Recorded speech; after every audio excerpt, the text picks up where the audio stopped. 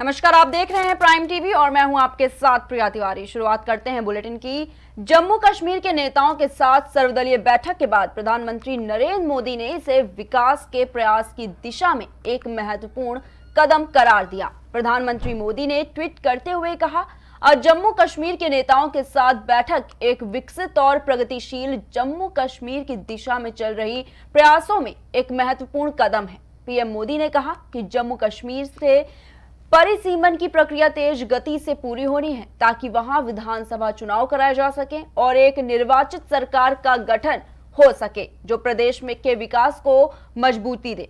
वहीं जम्मू कश्मीर के नेताओं के साथ सर्वदलीय बैठक के बाद प्रधानमंत्री ने सिलसिलेवर ट्वीट कर यह भी कहा है कि सरकार की प्राथमिकता केंद्र शासित प्रदेश में जमीनी स्तर पर लोकतंत्र को मज़बूत करना है।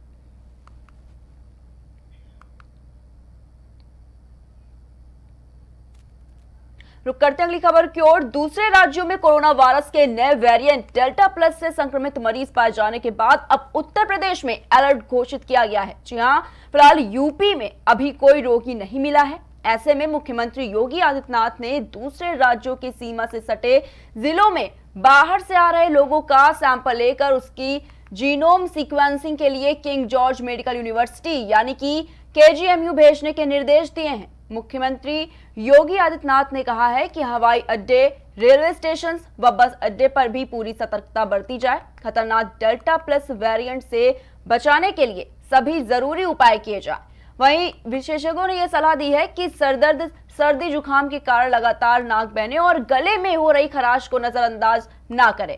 अब तक जो रोगी मिले हैं, उनमें ये लक्षण पाए गए हैं। वहीं मुख्यमंत्री योगी आदित्यनाथ ने कहा है कि हवाई अड्डे, रेलवे स्टेशन व बस अड्डे पर भी पूरी सतर्कता बरती जाए। खतरनाक डेल्टा प्लस वेरिएंट से बचाने के लिए सभी ज़रूरी उपाय भी करने बेहद ही ज़रूरी हैं। अब तक जो रोगी मिले हैं, उनमें ये लक्षण भी पाए जा चुके हैं।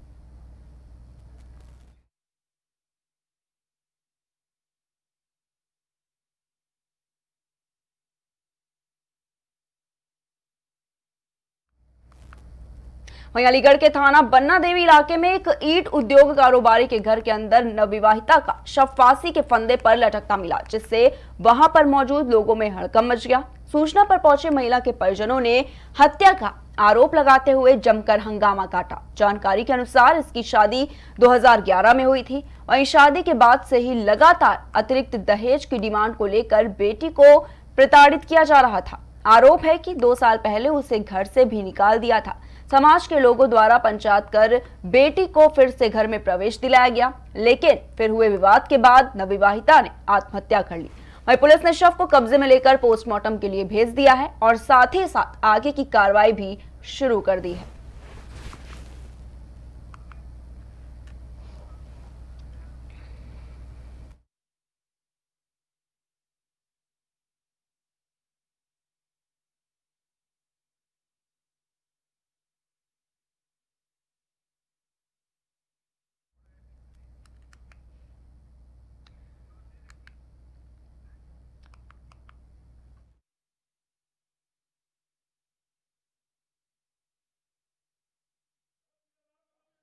दिनांक 24 जून को प्रातः लगभग सात बजे थाना बन्ना देवी पर इवेंट प्राप्त हुआ कि एक महिला की बॉडी प्राप्त हुई है। मौके पर पुलिस पहुँची है। पुलिस ने शव को पोस्टमार्टम के लिए भिजवाया गया है और आवश्यक वैधानिक कार्रवाई की जा रही है। तहरीर तो आपको बता दें कि दूसरे राज्यों में कोरोना वायरस के नए वेरिएंट डेल्टा प्लस से संक्रमित मरीज़ पाए जाने के बाद अब उत्तर प्रदेश में भी अलर्ट घोषित किया गया है। फ़िलहाल यूपी में अभी तक कोई रोगी नहीं मिला है। ऐसे में मुख्यमंत्री योगी आदित्यनाथ ने दूसरे राज्यों की सीमा से सटे। जिलों में बाहर से आ रहे लोगों का सैंपल लेकर उसकी जीनोम स्क्वेंसिंग के लिए किंग जॉर्ज मेडिकल यूनिवर्सिटी, यानी कि केजीएमयू भेजने के निर्देश दिए हैं। मुख्यमंत्री योगी आदित्यनाथ ने कहा है कि हवाई अड्डे, रेलवे स्टेशन व बस अड्डे पर भी पूरी सतर्कता बरती जाए। खतरनाक डेल्टा प्लस वेरिएंट से बचाने के लिए सभी ज़रूरी उपाय किए जाएँ। उधर विशेषज्ञों ने यह सलाह दी है कि सरदर्द, सर्दी जुकाम के कारण लगातार नाक बहने और गले में हो रही खराश को नजरअंदाज न करें। अब तक जो रोगी मिले हैं, उनमें ये लक्षण पाए गए हैं। तो जिस तरह से डेल्टा वेरिएंट का खतरा बढ़ता जा रहा है, उसको देखते हुए उत्तर प्रदेश में भी अलर्ट घोषित कर दिया गया है। आपको बता दें कि फ़िलहाल अभी तक उत्तर प्रदेश में कोई संक्रमित मरीज़ नहीं मिला है।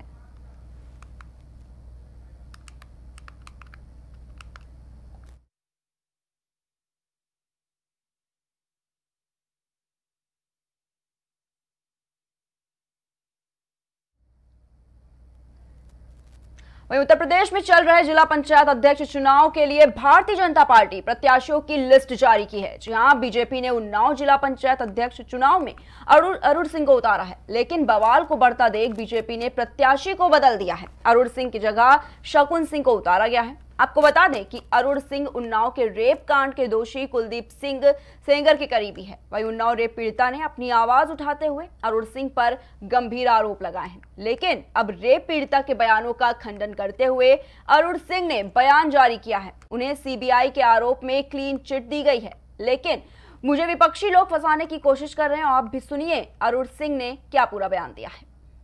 सबसे पहले मैं भारतीय जनता पार्टी शीर्ष नेतृत्व का आभार प्रकट करूँगा। कि मुझ जैसे छोटे कार्यकर्ता को जिला पंचायत पहले सदस्य निर्वाचित होने के लिए अपना समर्थन दिया और आज हमें अध्यक्ष जिला पंचायत के लिए पार्टी द्वारा घोषित किया गया है। आपके चैनल के माध्यम से मैं आभार प्रकट करूँगा। और जो लोग मनगढ़ंत ये आरोप लगा रहे हैं, मैं किसी भी रेप केस में मुलजिम नहीं हूँ, किसी भी हत्या के मुकदमे में मुलजिम नहीं हूँ। मेरा नाम एक्सीडेंट के केस में आया था पीड़िता से जोड़ते हुए। पीड़िता का परिवार और पीड़िता मेरी बहन जैसी है। उन लोगों के साथ मेरी संवेदनाएँ पहले भी रही हैं, आज भी हैं और आजीवन रहेंगी। उन लोगों के प्रति मेरी कोई द्वेष भावना नहीं थी। जिस दिन वो एक्सीडेंट हुआ था, मैं अमरनाथ जी की यात्रा पर था। सीबीआई जैसी सबसे लोकप्रिय, अति विश्वास पात्र संस्था के द्वारा सीबीआई ने जाँच किया था। मुझे क्लीन चिट मिली है। मेरे ऊपर कोई भी आरोप सिद्ध नहीं हुआ है। वहीं ताजनगरी आगरा के कलेक्ट्रेट परिसर में वकील और पुलिस के बीच हुआ विवाद तूल पकड़ता जा रहा है। आपको बता दें कि अधिवक्ता ब्रजेश भदौरिया के साथ हुए घटनाक्रम को लेकर Agra advocate bar association greater war association सहित कई लोगों ने पुलिस प्रशासन के खिलाफ जमकर प्रदर्शन किया। आक्रोशित बार एसोसिएशन के लोगों ने दीवानी चौराहे पर पुलिस के खिलाफ नारेबाजी करते हुए पुतला फूका और आपको बता दें कि अधिवक्ताओं की ये मांग है कि दोषी पुलिसकर्मियों के खिलाफ कड़ी कार्रवाई की जाए और अधिवक्ता के खिलाफ दर्ज किए गए हुए मुकदमे को भी वापस लिया जाए। साथ ही ये ऐलान किया गया है कि अगर दोषी पुलिसकर्मियों के खिलाफ सख्त कार्रवाई नहीं की गई तो शहर में और ज़्यादा उग्र प्रदर्शन किया जाएगा। बता दें कि बीते दिनों अधिवक्ता के साथ पुलिस ने अभद्रता की थी। जो वकीलों के साथ हुआ है, अन्याय, अत्याचार हुआ है, इसमें वकीलों की सिर्फ़ हम लोगों की एक मांग है कि जो नाई की मंडी ऐशो है, वो बर्दाश्त किया जाए, वकीलों के खिलाफ मुकदमे वापस किए जाए। इसके अलावा हम कहीं किसी से कोई विवाद नहीं चाहते। लेकिन पुलिस नहीं मानता हम आगे आंदोलन को बढ़ाएँगे। देखेंगे कैसे चलाते हैं। ये अपना काम करें, हम अपना काम करेंगे। इसमें क्या बात बिल्कुल सब कुछ कर वहीं राष्ट्रपति रामनाथ कोविंद उत्तर प्रदेश में अपने जन्म स्थान की यात्रा के लिए ट्रेन में सफ़र करेंगे। जहाँ इस दौरान वह स्कूल के दिनों और समाज सेवा के शुरुआती दिनों के अपने पुराने परिचितों के साथ मुलाकात करेंगे। गौरतलब है कि 15 साल के अंतराल के बाद कोई निवर्तमान राष्ट्रपति ट्रेन में सफ़र करेंगे। राष्ट्रपति के ट्रेन यात्रा की जानकारी मिलते ही बुलंदशहर में भी पुलिस प्रशासन पूरी तरह से अलर्ट पर है। वहीं स्थानीय पुलिस द्वारा रेलवे पटरी के दोनों तरफ़ मॉक ड्रिल की जा रही है।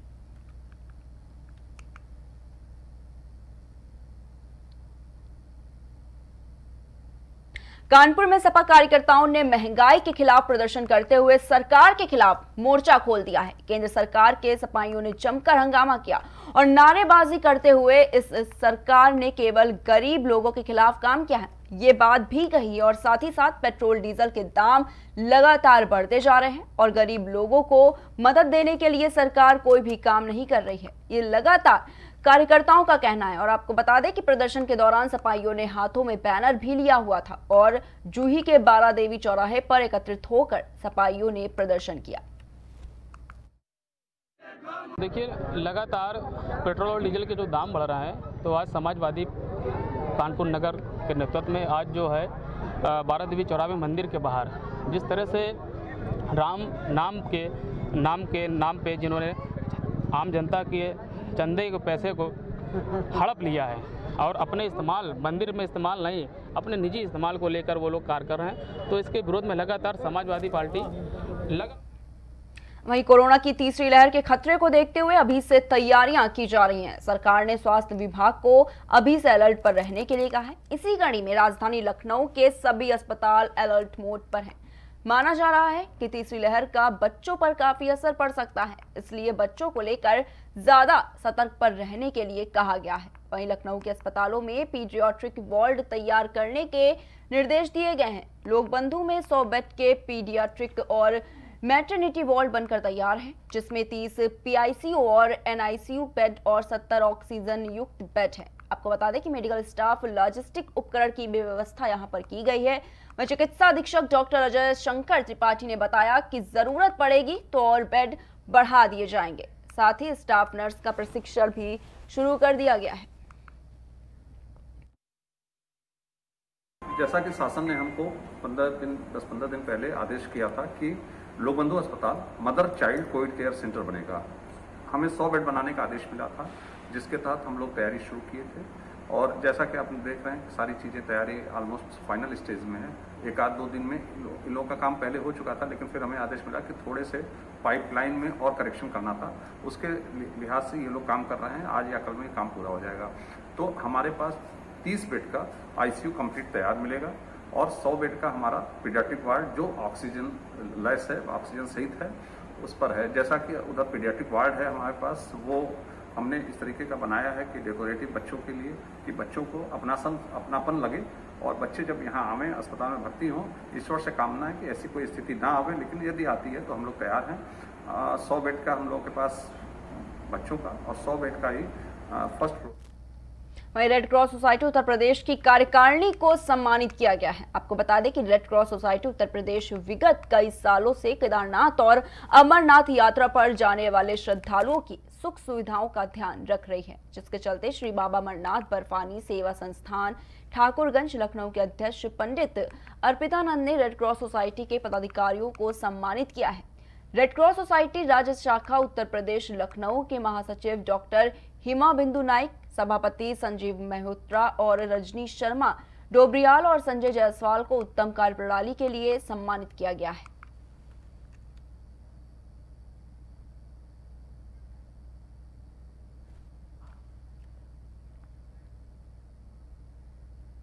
वहीं मानसून के आने के साथ प्रदेश के अलग अलग इलाकों में बारिश हो रही है। बारिश की वजह से सड़कों की स्थिति भी उजागर हो रही है। बारिश की वजह से सड़कों पर पानी भरता जा रहा है। लखनऊ के अलीनगर, सुनहरा को जाने वाली रोड पूरी तरह से गड्ढों में तब्दील हो गई है और ज़बरदस्त कीचड़ और जल भराव हो रहा है, जिसकी वजह से लोगों का घरों से निकलना काफ़ी दुश्वार हो रहा है। आपको बता दें कि खराब सड़कों की वजह से आए दिन लोग यहाँ गिरते पड़ते रहते हैं और घायल हो जाते हैं। सड़क के निर्माण के लिए नगर निगम से लेकर प्रशासन तक पत्र लिखा गया है। अलीनगर के लोगों का ये कहना है कि अब अगर रोड नहीं तो वोट नहीं।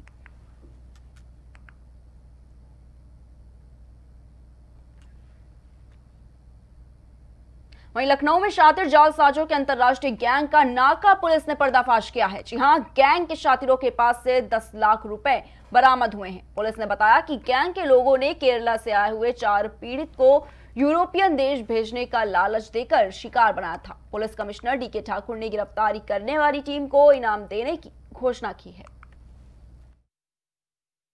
नाका पुलिस ने एसीपी केसरबाग, पंकज श्रीवास्तव और डीसीपी साहब के नेतृत्व में ये एक बहुत बड़ी कामयाबी हासिल की है, जिसमें एक अंतर्राष्ट्रीय कबूतरबाजी का गिरोह गिरोह जो है उसका पर्दाफाश किया गया है।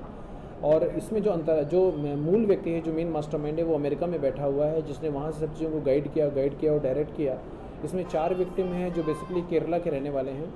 और उनको ट्रैप करके लखनऊ तक पहुँचाया गया। लखनऊ में होटल में उनको बंधक बना के उनके पास से लगभग दस लाख रुपए मूल्य के यूरो डॉलर और, रुपए उनसे छीना गया। और उसके बाद वही महाराजगंज के परसा मालिक थाना क्षेत्र में मामूली विवाद को लेकर दो पक्षों में जमकर मारपीट हुई। जी हाँ मारपीट का एक वीडियो भी सोशल मीडिया पर जमकर वायरल हो रहा है। मारपीट में कुछ लोग गंभीर रूप से घायल भी हुए हैं, जिन्हें इलाज के लिए अस्पताल में भर्ती करा दिया गया है। वहीं मारपीट की सूचना मिलते ही पुलिस की टीम मौके पर पहुँच गई। दोनों पक्षों के बीच हुए मारपीट के मामले में दो लोगों को अरेस्ट कर लिया गया है और आगे की कार्रवाई भी जारी है। ये थाना परसा मलिक के शेखवानी गाँव का वीडियो है। इसमें दो पक्षों में मेड़ काटने के विवाद को लेकर मारपीट हुई है। मामूली मारपीट हुई है, फिर भी पुलिस ने तत्काल मौके पर पहुँच के दोनों पक्षों से दो दो व्यक्तियों को अरेस्ट करके निरोधात्मक कार्रवाई की गई है और पाबंद किया है। मौके पर शांति है। वहीं पहाड़ों में हो रही लगातार बारिश की वजह से नदियों का जलस्तर बढ़ता जा रहा है। पहाड़ी क्षेत्रों के हो रहे मौसम के बदलाव की वजह से मैदानी इलाकों में भी इसका असर साफ़ तौर पर दिखाई दे रहा है। रामपुर में भी नदियों का जलस्तर बढ़ता जा रहा है। प्रशासन लगातार बाढ़ नियंत्रण, सुरक्षा और बचाव जैसे विकल्पों पर काम कर रही है। ऐसे में बाढ़ प्रभावित क्षेत्र होने के चलते रामपुर में भी प्रशासन ने अपनी तैयारियाँ पूरी कर ली हैं। रामपुर में कुल 218 गाँव ऐसे हैं जो बाढ़ प्रभावित क्षेत्र में आते हैं। इन समस्त गाँवों से संबंधित तहसील के अधिकारियों को अलर्ट किया गया है और इसके अलावा जनपद में 36 बाढ़ चौकियाँ बनाई गई हैं। फ़िलहाल जिलाधिकारी रविंद्र कुमार मांदल ने बताया कि बाढ़ प्रभावित क्षेत्रों का जायजा लिया जाएगा और लोगों से बाढ़ प्रभावित क्षेत्र नदियों से दूर रहने की भी हिदायत दी जाएगी। देखिए जनपद की संवेदनशीलता को देखते हुए हमने पिछले माह ही इसमें बाढ़ संबंधी बैठक की थी और एक बैठक माननीय मुख्यमंत्री जी की अध्यक्षता में भी हो चुकी है समस्त जिलाधिकारियों की। तो निर्देश ये दिए गए थे कि समय पूर्व हम लोग बाढ़ से संबंधित समस्त तैयारियाँ कर लें। तो उसके क्रम में जो जनपद का परिदृश्य है 218 गाँव ऐसे हैं जो बाढ़ प्रभावित क्षेत्रों में आते हैं और उन सभी गाँवों से रिलेटेड जितनी हमारी तहसील हैं, उन सभी को अलर्ट कर दिया गया है। सभी हमारे एस ने, तहसीलदार ने उन सभी गाँवों को विज़िट कर लिया है। और जनपद स्तर पर हमने इसके लिए कंट्रोल रूम भी स्थापित कर दिया है। Twenty four seven control room काम कर रहा है। तीन पाली सहारनपुर में भी भारतीय किसान यूनियन के लोगों ने ट्रैक्टर मार्च निकाला। किसानों ने बड़ी संख्या में ट्रैक्टरों के ज़रिए गाजीपुर बॉर्डर की ओर कूच किया। गाजीपुर बॉर्डर से यात्रा निकाली जाएगी और इस यात्रा को करने के साथ किसानों ने हमेशा की तरह तीनों काले कानून के खिलाफ प्रदर्शन करने के साथ ही उसे रद्द कराने की भी मांग की है।